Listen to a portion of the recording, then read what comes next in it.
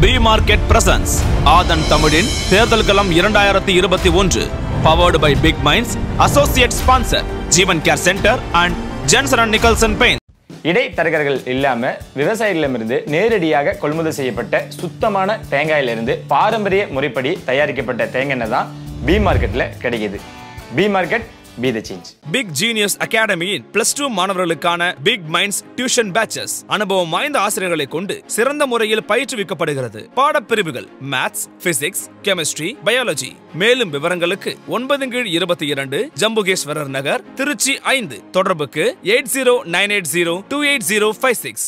குடி மற்றும் போதை பழக்கத்திற்கு அடிமையாகி இருண்ட உலகில் மாட்டிக்கொண்டீர்களா உங்கள் வாழ்வின் வெளிச்சத்திற்கு ஒளியேற்றுகிறது ஜீவன் கேர் சென்டர். நம்பிக்கையோடு நீங்கள் எடுத்து வைக்கும் முதலடி நாளை உங்களை புன்னகை தேசத்தில் குடும்பத்துடன் சேர்த்து வைக்கும் Jeevan care centre.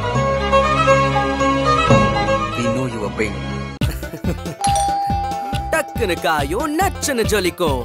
Jensen and Nicholson quick drying PU enamel Jensen and Nicholson Paints. ஆயிரத்தி தொள்ளாயிரத்தி எழுபத்தி ஏழாம் ஆண்டு சிபிஐ சார்பாக போட்டியிட்ட சோ அழகர்சாமி வெற்றி பெற்றார். எண்பதாம் ஆண்டும் சிபிஐ சார்பாக போட்டியிட்ட சோ அழகர்சாமியே மீண்டும் வெற்றியடைந்தார். எண்பத்து நான்காம் ஆண்டு காங்கிரஸ் கட்சியின் சார்பாக போட்டியிட்ட ஆர் ரங்கசாமி வெற்றியடைந்தார். எண்பத்து ஒன்பதாம் ஆண்டு சிபிஐ சார்பில் போட்டியிட்ட சோ அழகர்சாமி வெற்றியடைந்தார். தொன்னூற்று ஓராம் ஆண்டு அதிமுக சார்பில் போட்டியிட்ட ஷியாமலா வெற்றி பெற்றார். தொன்னூற்று ஆறாம் ஆண்டு சிபிஐ சார்பில் போட்டியிட்ட எல். ஐயலுசாமி வெற்றியடைந்தார். இரண்டாயிரத்தி ஓராம் ஆண்டு சிபிஐ சார்பில் போட்டியிட்ட எஸ். ராஜேந்திரன் வெற்றியடைந்தார். இரண்டாயிரத்து ஆறாம் ஆண்டு அதிமுக சார்பில் போட்டியிட்ட எல். ராதாகிருஷ்ணன் வெற்றி பெற்றார். இரண்டாயிரத்து பதினோராம் ஆண்டு அதிமுக சார்பில் கடம்பூர் சே. ராஜு வெற்றியடைந்தார். இரண்டாயிரத்தி பதினாறாம் ஆண்டும் அதிமுக சார்பில் போட்டியிட்ட கடம்பூர் சே ராஜு அவர்களே வெற்றி கடைந்தார் கோவில்பட்டி சட்டமன்ற தொகுதியில் அதிமுக நான்கு முறையும் இந்திய கம்யூனிஸ்ட் கட்சி ஏழு முறையும் வெற்றி பெற்றிருக்கின்றன. காங்கிரஸ் கட்சி மூன்று முறை இந்த தொகுதியில் வெற்றி பெற்றிருக்கிறது.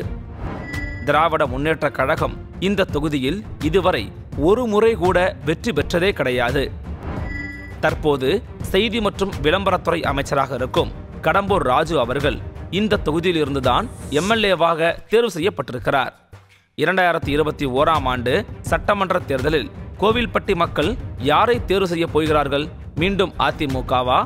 அல்லது மாற்றத்தை எதிர்பார்க்கிறார்களா? மக்களின் பதில்கள் இதோ. ரெண்டாயிரத்தி இருபத்தொன்று சட்டமன்ற தேர்தல்னு இன்னொரு அஞ்சு மாதத்தில் வருது. யார் வந்தால் நல்லாயிருக்கும்? மக்கள் செல்வர் டிடிவி அவர்கள் ரெண்டாயிரத்தி இருபத்தி ஒன்று வந்து ஒரு புதிய மாற்றத்துக்கான ஆண்டு. இந்த ஆண்டில் வந்து வரக்கூடிய தலைவர் வந்து டிடிவி தினகரன். அவர் தான் வந்தால் நல்லாயிருக்கும். தித்தனாரம் தான் பிஜேபி தான் இன்னைக்கு உலக அளவில் மோடி வந்து ஒரு இந்தியாவை தலைநிமிடம் வச்சுருக்காரு. கட்சி வேற இருந்தாலும் அவர் நம்மளுடைய நாட்டை நல்ல ஒரு நிலைமையில வச்சுருக்காதால பிஜேபி கூட்டணியோட எந்த கட்சி இருக்கோ அது எந்த கட்சியாக இருந்தால் தான் அவருக்கு தான் எங்கள் ஆதரவு. இதில் மாற்றுக்கருத்து ஒன்றும் இல்லை. அண்ணன் டிடிவி வந்தால் நல்லா இருக்கும்னு நினைக்கிறேன். என்னை பொறுத்தவரை டிடிவி வந்தால் நல்லா இருக்கும்னு நினைக்கிறேன். ஒரு மாற்றங்கள் வரணும் அப்படின்னு. டிடி தினம் வந்தாலும் நல்லா செய்வார். ஏடிமிக்க வந்தால் நல்லாயிருக்கும். மாற்றம் தான் நல்லாயிருக்கும் மக்களுக்கு கருத்து. எங்களுக்கு எடப்பாடி வந்தால் நல்லாயிருக்கும். கூட்டணியில் எடப்பாடி வந்தால் நல்லாயிருக்கும். எடப்பாடி நல்லா தான் இருக்குது நல்லா தான் செய்தார். எடப்பாடி ஆட்சி சிறந்ததாக தான் இருக்குது இப்போ உள்ள வேட்பாளரே வந்தால் நல்லாயிருக்கும். நமக்கு டிடி வரணும். திமுக வந்தால் நல்லாயிருக்கும். திமுக வரணும்னா எங்களுக்கு நல்லபடியாக இதெல்லாம் கிடைக்கும். அதனால வரணும். டிஎம்கே வந்தால் கல்வி கடன் படிக்க பிள்ளைகளுக்கு கல்வி கடன் ரத்தாகும். அது கொஞ்சம் அந்த பிள்ளைகளுக்கு கொஞ்சம் சேஃப்டியாக இருக்கும். சரி. பிறகு விவசாய கடன் தள்ளுபடிங்க போகும்போது நான் விவசாயி. எனக்கு கொஞ்சம் அதில் வந்து பெனிஃபிட் கிடைக்கும். பூக்கு தான் நல்லா தான் இருக்கும். திமுக என்ன காரணம் திமுக வரணுன்ற திமுக வந்தால் நல்ல சலுகை கிடைக்கும் போது. விவசாயி நல்லா செய்வாங்க வேறு. நாங்கள் திமுக தான் வரட்டும்னு நினச்சிருக்கோம். என்ன காரணம்? ஏன் திமுக வரணும்னு நினைக்கிறேன் நல்லா செய்வாங்களா அதுதான் திமுகவே வரட்டும். பிஜேபி கூட்டணியில் ஏடிஎம்கே வரணும்னு ஆசைப்படுறேன். ரெட்டல் வந்தால் நல்லா இருக்கும். ரெட்டலை ரெட்டல் தான் ஜெயிக்கும். அம்மா போன பிறகும் அவங்க அதை தொடர்ந்து பண்ணிகிட்டு இருக்காங்க. அந்த அவங்க தொடர்ந்து பண்ணிகிட்டு இருக்காங்க. ரெண்டு பேரும். ஓ எடப்பாடியும் ஓ எடப்பாடியும் பண்ணிகிட்டு இருக்காங்க. அதனால் கண்டிப்பாக ஜெயிக்கும் ரெட்டலை ஸ்டாலின் விஜயகாந்த் தான் நாங்கள் எங்களுக்கு பிடிச்சது விஜயகாந்த் தான்.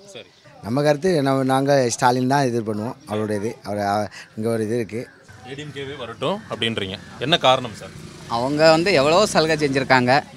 அது இல்லாத ரொம்ப நல்லதும் செஞ்சுருக்காங்க. அதனால தான் சொல்கிறேன் அம்மா தான் வரணும். ஏடிஎம்கே தான் வரணும். இந்த அம்மா தான் வரணும் அம்மா ஆட்சி தான் வரணும். சரி இந்த மாதிரி இந்த ஆட்சியே நல்ல ஆட்சி தானே. எடப்பாடியே இருக்கட்டும். எடப்பாடி வரலாம். என்ன காரணம் ஐயா? ஏன் மக்களுக்கு நல்ல செய்தாங்க. அதனால்